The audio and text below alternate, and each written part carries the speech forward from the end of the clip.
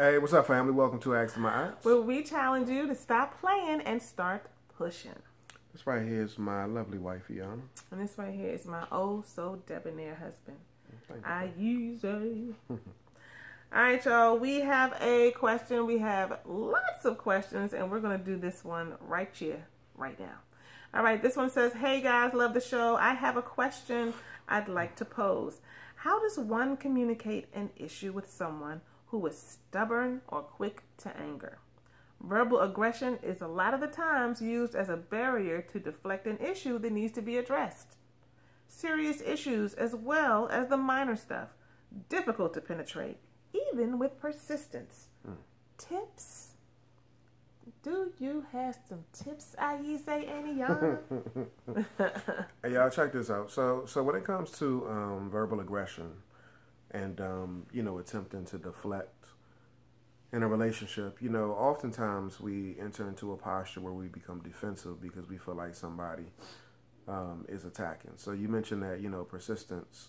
Um, when persistence is present, which to me it signifies that you're attempting to really get in there, resolve the issue, uh, peel back the layers, minor and, stuff and, and yeah, and stuff. just trying to figure some too. stuff out. Yeah, so so, but even with that being said, um, again, people resist and become defensive when they feel as though they're they're being attacked, when they feel like they're being infringed upon, when they feel like it's not necessarily safe to expose or just be vulnerable and just be themselves. So, what I would say first and foremost, the the and and it's actually probably the only thing that needs to be done.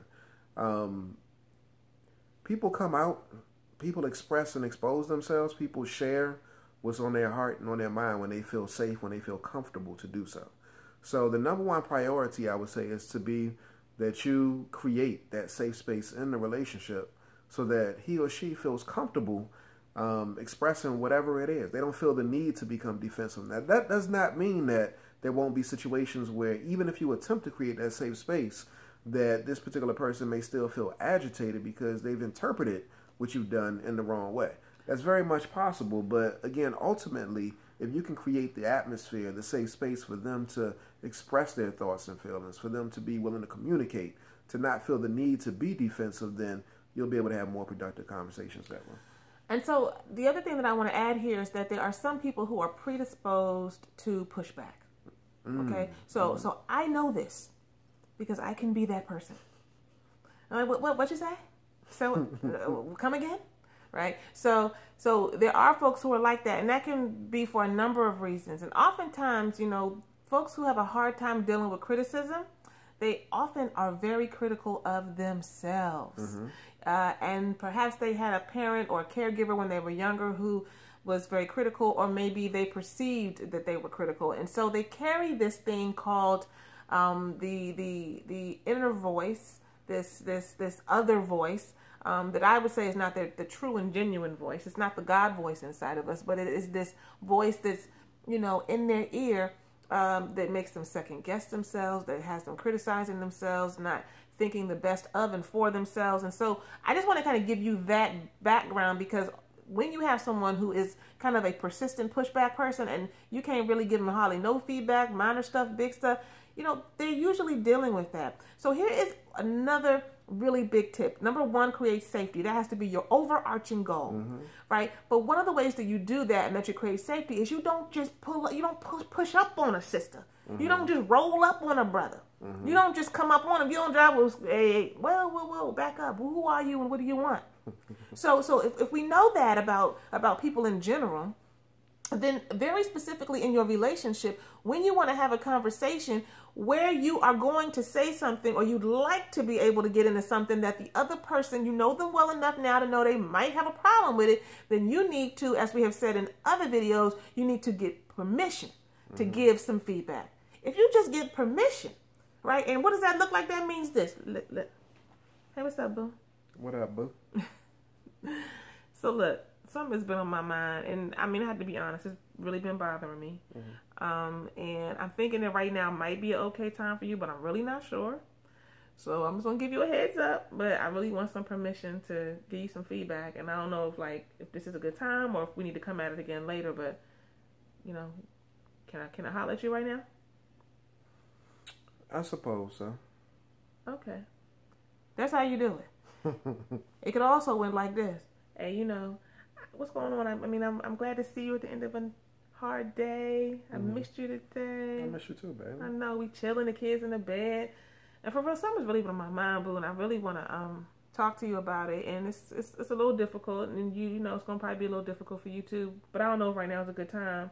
Is this this gonna holler at you for a minute? Yeah. He just messed it up. if I, if I, I, I, but, but hold up though, I like the way. I like if I just, if I said or it can go like this, then you're supposed to say no this time. no, no, no, You no. messed up the situation. No, I, so so here, let me point Ooh, this out. You knew where I was so, going, right? So I did. So I did that intentionally. I did that intentionally because I wanted to point out a couple of things. So the energy, look at the energy that took place in that exchange. Oh man! You know, my wife, she said, "Hey, baby." Oh, I should have changed my energy. Yeah, the second no, one. No, because the person was, might say was, no regardless. Yeah, I know. It's because I know I will. You come again, all kind of correct. I still say no. Yeah, but pay attention to the fact that you know when when she came in me um, the second time, I actually felt, "Boy, you just gonna drink the wine like that? To the wine to the head." oh, I was just drinking this. Um, so you want to make sure that you you you um, there's some element of compassion that's present. That you're sensitive to the space that your partner is in when you're approaching them about whatever it is that you want to share. It is important to ask for permission because yes, your partner can say yes, they can say no, they could be like get the hell up out of here or whatever it may be. But when you ask for permission, um, then it gives them the opportunity to invite you into their space. Yes. Okay. So he was supposed to say no that time, but anyway, you get it right. Like you just have to ask him. And, and in in our relationship, do I have permission to give you some feedback is mm-hmm. a phrase that we, we that's a cue for us. We know, yeah. okay, that means that we about to be rough. We getting ready to go somewhere. Mm-hmm. It's about to be rough, or it ain't about to be rough because I'm about to tell him no. Mm-hmm. This ain't a good time. but I know it may be rough within you know the next uh, few hours or the next day because I'm not going to just leave him hanging, being as though he came correct. I'm gonna say yeah, we can we can have that conversation. So you mm. set it up in such a way that it, it allows for the person to get ready psychologically. Mm-hmm. Um, it, it allows them to even train their minds without them even realizing it uh, and train their emotional reactions in such a way that you know it, starts to discipline you mm-hmm. because now you you already ready you're getting mm-hmm. ready um, and you ain't just rolling up on somebody there was a third thing that i was going to tell you uh, you had a little bit too much that wine that wine y'all um, the third thing hold on hold on hold on hold on really, is about Asking the question. No, can you don't talk because you're making me not remember. Wait a minute. Don't do that. It's distracting me. Um, getting permission. Come on now, boo. Wait a minute. Getting permission and. People just supposed to watch you think. Shh, shh. Cause it's good, y'all. Hold on, hold on. I know, I know, I know. I'm taking a long time. Oh man, see, I had it. I had it. Okay, okay. I'm I'm sorry. I can't remember it. I think it. You know, maybe I did have a little. The wine is making me forget. But um, at the end of the day, um, you just have to persist, and you have to to recognize that you can model for that person. Um, I have been a hothead in our relationship sometimes. You know, mm-hmm. just a few times. Really. And this brother right here, he's a model for me. You know, you can't have two hotheads. It doesn't work, right? So people um, attract they're opposite in many ways so that they can learn what they need to learn. Um, and, and he's model for me. So just model, um, you know, get permission um, and um, understand be the cautious need. and be Un- cautious about your tone and yeah. about your energy. Yeah, but understand the need. What is his or her need to be defensive? What are they trying to protect? Why, where did that come from? You know, what what situations or what experiences have they had that led them to a space where they feel the need to always be on guard, to be quick to respond, to buck, to not necessarily be willing to receive feedback. And so when you understand that need, ah, and you can better approach them and be, um, you know, more willing to create that safe space. Don't try to push me through here. I'm, I'm feeling you. Be willing to create that safe space for them so that they can create a new need and a new experience in the relationship. Mm-hmm. And here's what you can do when you want to give that feedback, uh, before you start in any feedback that you give, affirm, validate the person. Because if we go back to what I talked about in terms of the fact that the person oftentimes may not be open and they're defensive because on the inside they already may have some issues. They may not feel enough, like they're good enough. They may feel like they don't measure up. I mean, even the mm-hmm. most confident person, right? They can feel like that. And so that's why they kind of come out with that energy. If you affirm them and say, don't wrap me up, don't do that. He gonna do him like this. No, don't do that Um, if you affirm them and validate them in that area, um, for example, my husband has given me feedback, right, sometimes about some of the housekeeping. Mm-hmm. Have you not?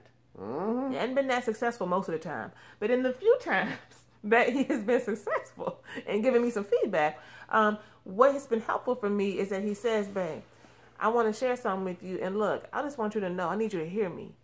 I think you do a great job with A, B, and C. I don't really have a problem with that. I'm just different and I like to see things a little bit different. But this is not me coming at you about how you do things. This is just me sharing another way because, you know, I'm just, an, I'm, I just have a different way of doing things. But I think you do a great job on blah, blah, blah. He's already affirmed me. He's already validated me. So then when I hear him talking about housekeeping stuff and cleaning up, I'm not saying, uh, wait a minute, hold up, hold up, hold up. What is, is he about to, is he really trying to go, you judging me? You know, you, you you trying to go on what I do. I mean, I can't even hear what you're saying because I'm feeling mm-hmm. attacked, right? Um, and so I just want to make sure that I, I lifted. I wanted to wanted to make sure that I lifted that up. Good. Baby. Validate and affirm the person um, because when you can validate and when you can tell somebody what they do well, then they will be much more open to hearing you give them feedback about what they can get stronger in. At the end of the day, you can't do none of this if you don't, uh, stop playing and, start pushing. Start pushing. Peace, y'all.